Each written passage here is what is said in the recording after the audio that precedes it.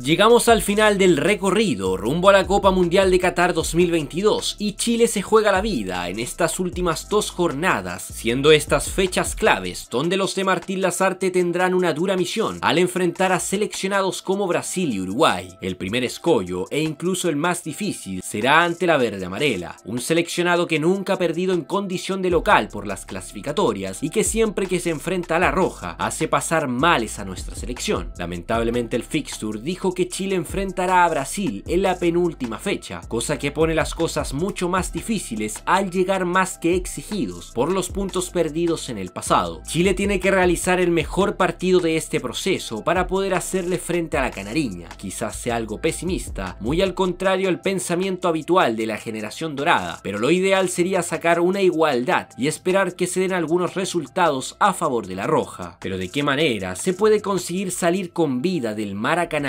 Brasil. Martín Lazarte sí o sí tiene que plantear un partido perfecto, sin fisuras, proponer un esquema donde la defensa sea bastante sólida, con tres defensores centrales, cinco volantes y dos delanteros. Un dibujo que da versatilidad, ya que da la posibilidad de defender con cinco hombres en la última línea, sumado al pivote defensivo y los interiores que se pueden sumar en la recuperación del balón. La gran duda de este encuentro será si Ben Brereton irá desde la partida o se guardará al jugador para una segunda fracción Creo que esto último sería lo ideal, ya que se sabe que se encuentra recuperándose de una lesión y de jugar desde el comienzo. Se cometería el mismo error que en la Copa América 2021, cuando Alexis Sánchez jugó el primer tiempo lesionado contra el Scratch. Chile debe jugar un partido inteligente. Los brasileños están más que clasificados, pero eso no quitará que no irán a humillar en frente de su gente a nuestra selección. Las individualidades de Brasil son de categoría mundial y un solo error costará caro si no hay concentración los 90 minutos del partido.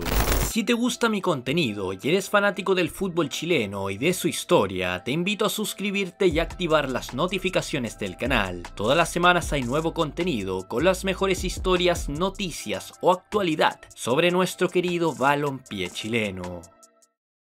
Los últimos dos encuentros de la Roja ante Brasil terminaron 1 por 0 a favor de los pentacampeones, en partidos que resultaron ser muy apretados y en donde Chile dio en todo momento la pelea, cayendo precisamente por errores concretos defensivos que se pudieron evitar. Los goles de Brasil fueron muy similares en ambos cotejos e incluso me atrevo a decir que Chile pudo haber ganado alguno de estos dos encuentros, sobre todo el partido jugado en el Estadio Monumental por las actuales eliminatorias. El equipo de Tite es un equipo directo utiliza muy bien los extremos y últimamente ha estado jugando con un 4-4-2 que se tiende a transformar en un 4-2-4, los punteros muy adelantados en la línea de los atacantes y con dos líneas de 4 muy sólidas cuando no tienen el balón, esperando recuperar para salir con la velocidad de sus jugadores que llegan con suma facilidad al área rival. Chile está a dos unidades del quinto puesto que te brinda la repesca mundialista y a tres puntos del cuarto puesto para clasificar directo. Primero para pensar en clasificar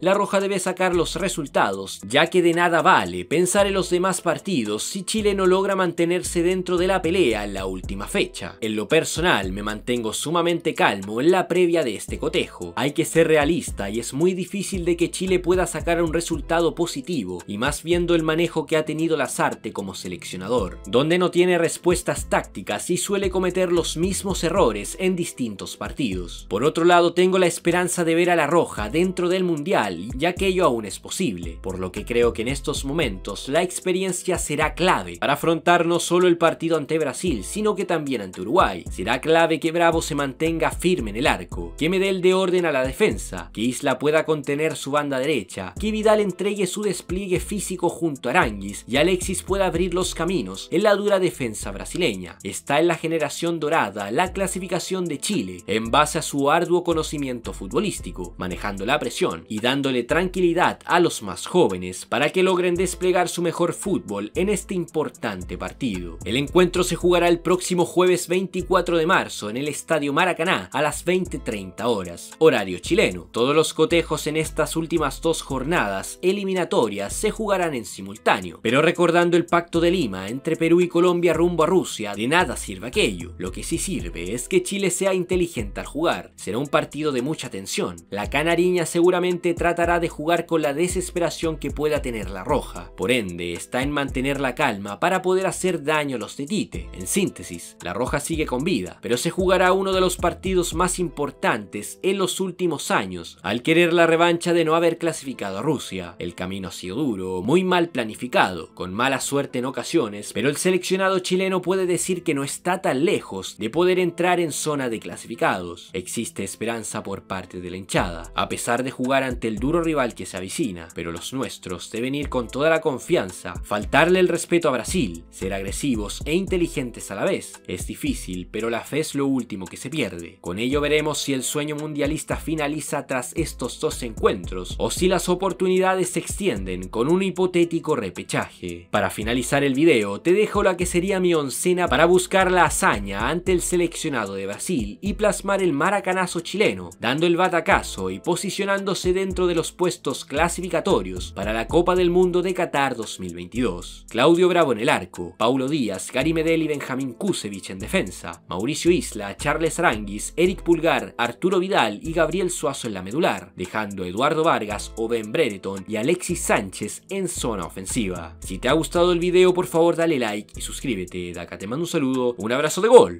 y hasta pronto, futbolero.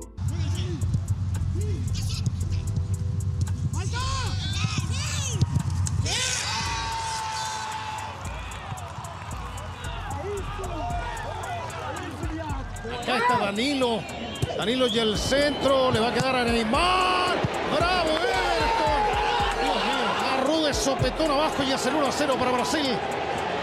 18 minutos del segundo tiempo. Lo gana Brasil por 1 a 0.